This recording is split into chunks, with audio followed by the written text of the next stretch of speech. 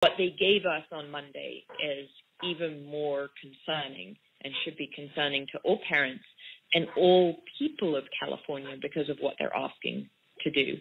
Um, the first seven pages of it, and you can find all of this information on sb18.info. So sb18.info, and that gets you to the Voice for Choice advocacy page. And we have on there the draft uh, amendments. We have our legislative packet and sort of flyers explaining why this is not a good bill, why we don't support it. Um, the the amendments to the bill, they basically took each of those seven sections and put bullet points, ten bullet about 10 bullet points under each, going through what the child's rights are under each of those things. And it's actually, I mean, to me, I was reading those seven pages of the bill, and it really is, it's almost crazy what they've done.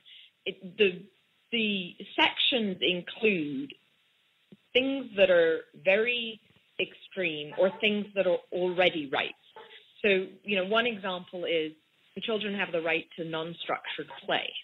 So in other words, children are allowed to play. Children have the right, sorry, it's the right to access. So, and that's, we'll talk about that word access. Um, play. Well, yeah, I, you know, I, I think all children have the right to play. Like, we, do we need that in a, in a law? Things like children have the right to access firefighters, emergency responders, and and uh, and law enforcement officials. And it's kind of like, okay, yes. Like it, I, I, still have to work out. I went through it and I was like, is this a law enforcement bill? Is this a penal code bill? Is this an education bill?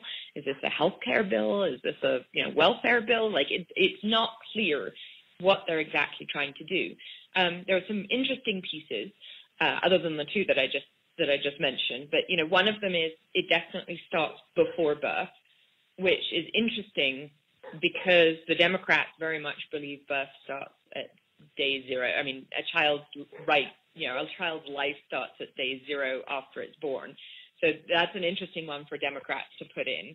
Um, there's also um, things that are that are that are hard to quantify or hard to know how they'll oversee them. So, for example, it also says that the right for children's parents to obtain employment opportunities that promote a healthy balance between work and life, or the right of a child's parent to be paid a living wage. Well, we have minimum wage in California, but how who's going to enforce that? So, you know, if if if it's a right of a child or the child's parents, because the parent going to sue a company because they didn't give them a healthy work-life balance? Like it's it just it, it's a huge bit. I mean, it has huge ramifications on all different. Aspects. So it makes me think that if you don't have a job, you don't get to raise your children. Well, and that's the other piece of this. So the other piece was okay. So they they made it very clear. The legislative director, he gave it to me. He said, "I just want you to know that we put the word access in there everywhere."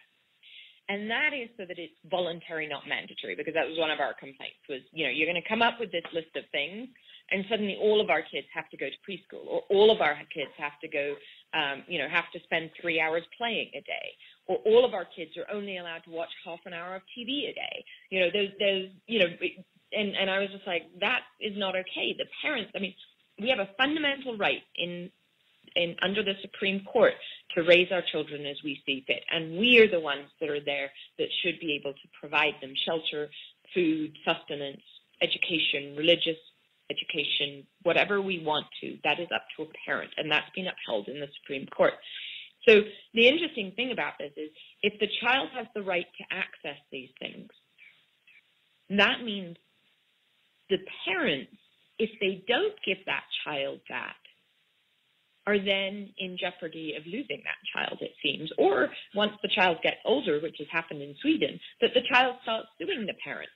And I can see this, you know, the way it's written right now, an example I gave to somebody yesterday was okay, so you have a 14 year old kid who hasn't done their homework, hasn't tidied their room, and you say to them, you are staying in your room until you have tidied up your room and you've done your homework. Fair statement. But the kid can come back and say, nope, I have the right to non-structured play. I am going out in the backyard and playing, and I will sue you if you if you make me do my homework. you know, and it it or I'm going to call CPS. I'm going to call CPS and they're going to take me away and I'm going to be out of this house. Well, you know, a 14 year old child doesn't understand what CPS and being out of this house and being in foster care means and being, you know, so it just is very, very, very concerning. The other piece is they have a they have a section at the very end, which was also pointed out to me, that they put in, especially because we were complaining that you know it may limit parents' rights, which says nothing in this section shall be interpreted to limit a parent's right under state or federal law. There is no statute, state or federally, that is a parental rights statute. So there is actually no law that gives parents rights. There, are I mean, there are, there are laws that take away parents' rights. You know, one of the things we've said is this is completely unnecessary because the extreme cases where parents are not doing what they should be doing or are not safe for their children, those extreme cases have been taken care of with the laws we have in place. So, you know, physical sexual abuse, truancy, um, those types of things are are have been taken care of already. Most parents, the majority of parents, do not fall into that that realm of things. And so, you know, to me, it, it's saying that you have parents' rights, but parents' rights under state or federal law, there are no laws. There is not a parental rights amendment to our constitution. There isn't a parental rights law act. So for them to say that, basically, in my mind, means nothing. Which you know, so you have the first seven pages of this bill, and I really, anybody who is listening to this, I really encourage you. And even if you're not in California, there's a statement in here that they want to make this in California and then run with it in the rest of the country. So everyone in the U.S. should be incredibly concerned about this bill in California because if it gets passed in California, your state is next.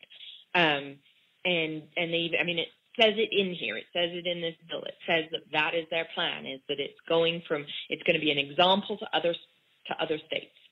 Um, and and so I would say everybody should read this. We have the draft amendments on our website again, sb18.info. Um, the other concerning thing is so you have these first seven pages of all of this stuff that children have rights to, and then you get into what they're actually asking the legislature to do. And what they're asking the legislature to do in effect, is just set up a committee of nine assembly members and nine senators to determine to, or to develop California's promise to its children and youth. And it's a blueprint, I'll read it to you. It's a blueprint for the care welfare of children and youth in various contexts, including but not limited to healthcare, nutrition, homeless assistance, education, and foster care and, this, and then it says, and to serve as an example to other states by raising the standard of living for California's children. And so, you know, that's all they're asking. So what they're actually asking is still very benign. I feel there's something fishy going on because they don't actually need to have this whole bill go through in order for a committee to set up. The Senate pro tem and the uh, Assembly Speaker can set up a, can set up committees. Many committees get established every year for different for different you know for doing research or investigation into into certain um, certain types of things. And so you know that has not been set up. That's what they're asking to set up. So it just seems strange that they would have a bill to set that up.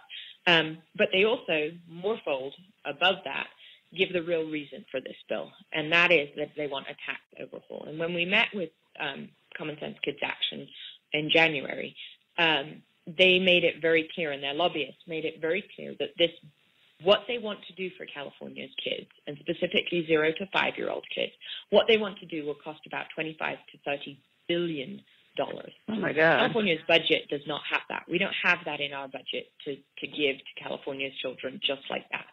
And so they are very. They, they made it clear in that meeting, and they've now put it into this um, these amendments that what they want to do is a complete tax code overhaul. And I agree that there are pieces of our tax code that are outdated, but putting tax code overall under the guise of a children's bill of rights and bettering our children's welfare is not fair. That's not that's not being transparent.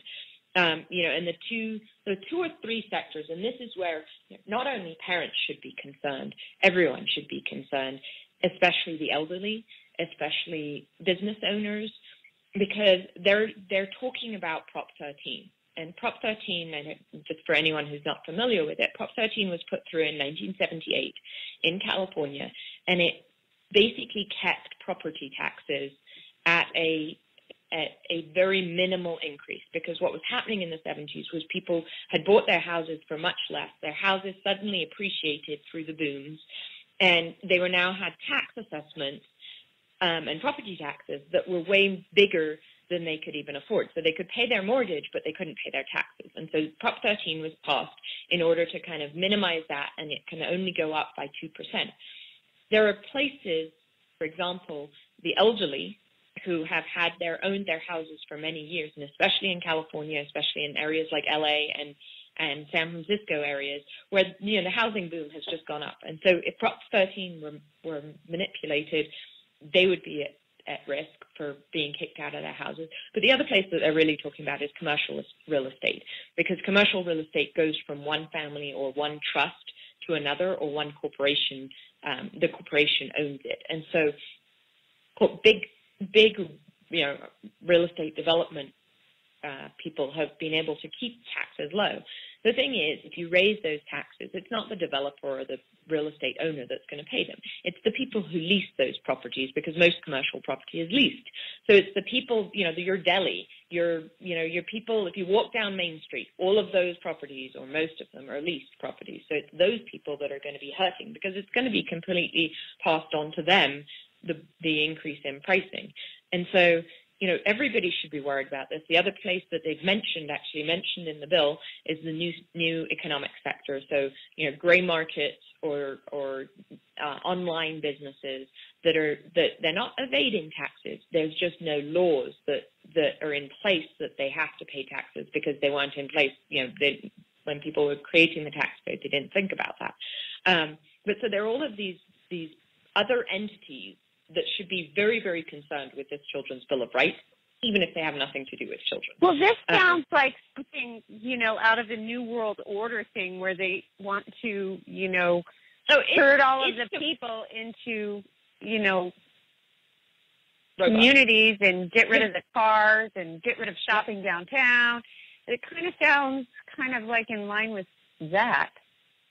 It's definitely Orwellian. I mean, I will absolutely go that far. I mean, it, you read you read the Bill of Rights and what rights they're giving children or saying that children have access to, which basically says that parents, if parents don't give them that and the child wants it, or the child should have it because the state thinks they should have it, it's taking it away. Yeah, and it's just, I mean, the tax piece of it is you know, it's their way. I get that they want the funding for it, and I get, you know, one of the things to note is that education and uh, our judicial system, over the years, every other special interest has put forward an a initiative to get more money um, appropriated to it or apportioned to it in the budget.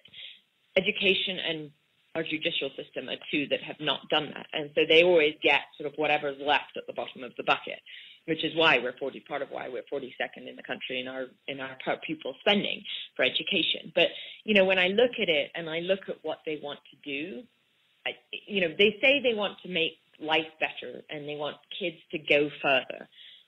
Well, we already have systems in place, and I'm going to bring up AB 1520, which is a, a bill that was introduced by Autumn, Assembly Member Autumn Burke